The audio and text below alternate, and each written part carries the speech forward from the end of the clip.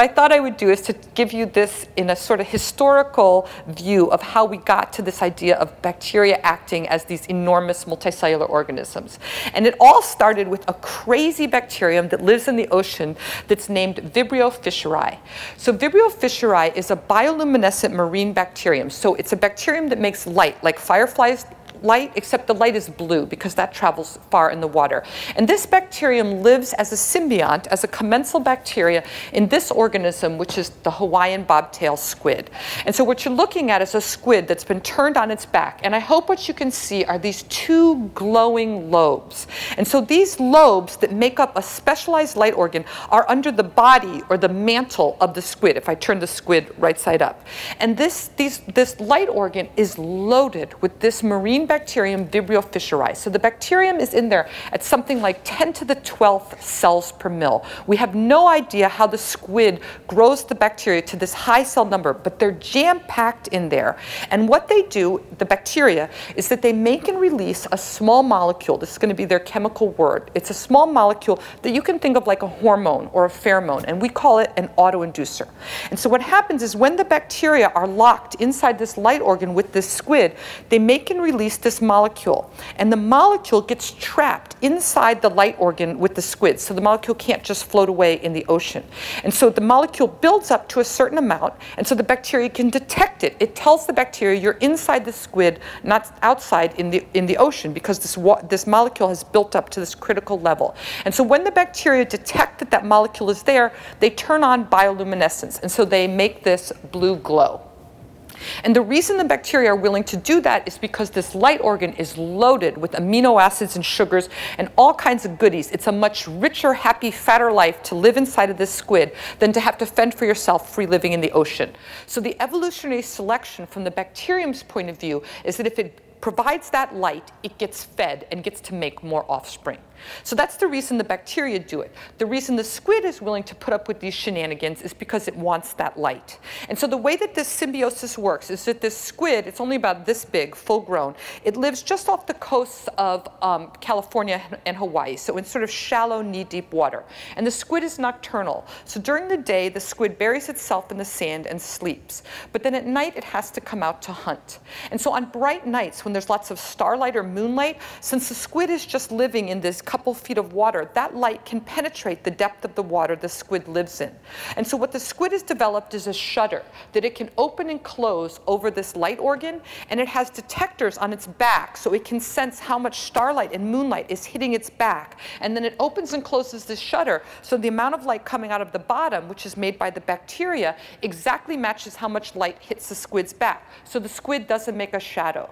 So it actually uses the light from the bacteria to counter illuminate itself itself in an anti-predation device that allows it to escape from predators that would see its shadow, you know, calculate its trajectory and eat it, right? So this is like the stealth bomber of the ocean, right? It makes itself invisible with these bacteria.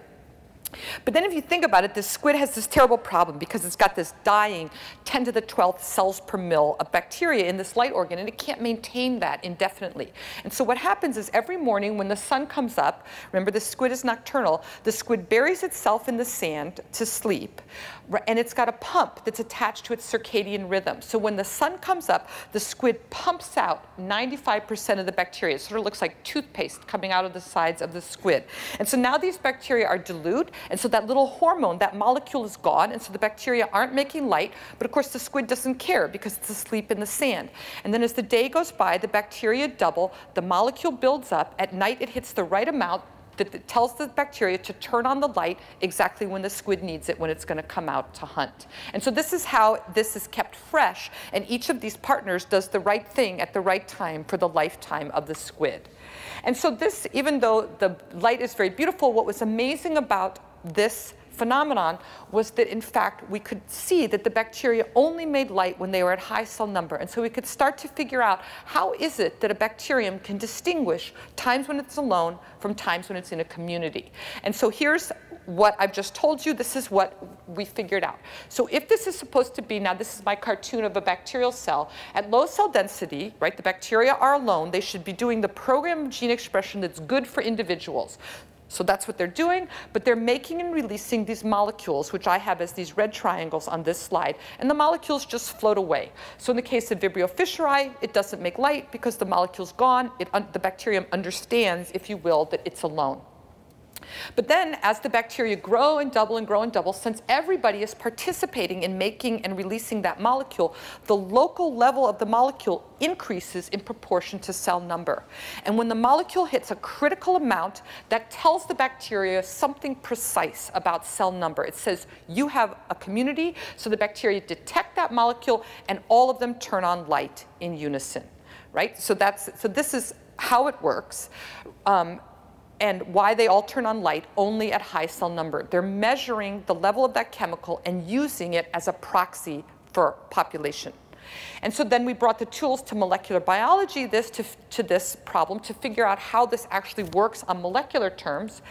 And what we and a lot of other people in the field realize, so this will be what my cell looks like for the rest of the talk, is that the bacteria have a protein, an enzyme, whose job is to make that signal molecule, that little hormone that I use the red triangles for the cartoon.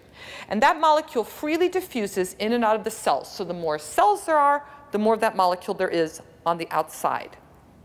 And then what the bacteria also have is they have a receptor. It's like an antenna it, it, that sits on the surface of the bacterial cells. These are just like the receptors on the cells in your body. And so what happens is when the molecule hits a particular amount, it can fit into this receptor like a lock and key. It fits in there and information comes into the cell that says there's lots of other cells around. And what happens is the bacteria, when this molecule slots in there, the bacteria turn on the genes that make the enzyme enzymes that make bioluminescence or light. So it's a really simple circuit. The more cells there are, the more of this molecule there is at a particular cell number, that information gets recognized and the bacteria all turn on light together.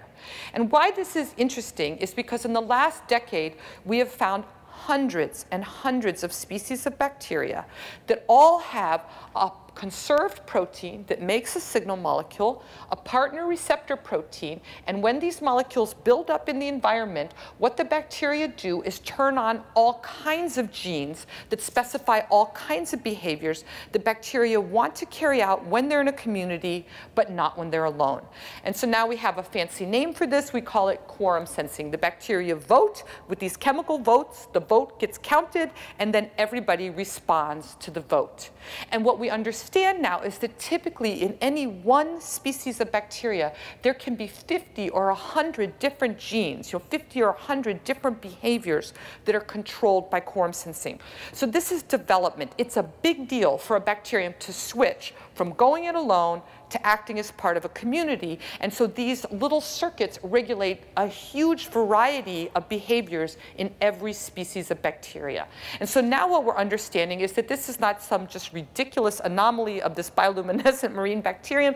This is the norm in the bacterial world. Bacteria have to be able to distinguish these two situations. And the way they do it is by talking, if you will, with these chemical languages.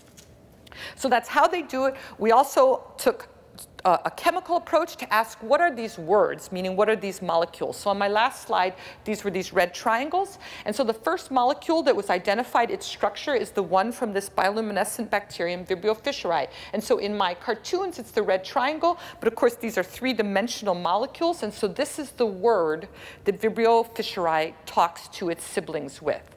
And when we went on and uh, to start um, figuring out what all, all, these other bacteria were using as their molecules, this is what we came up with. This is just a small, like a selection of some of the molecules we know.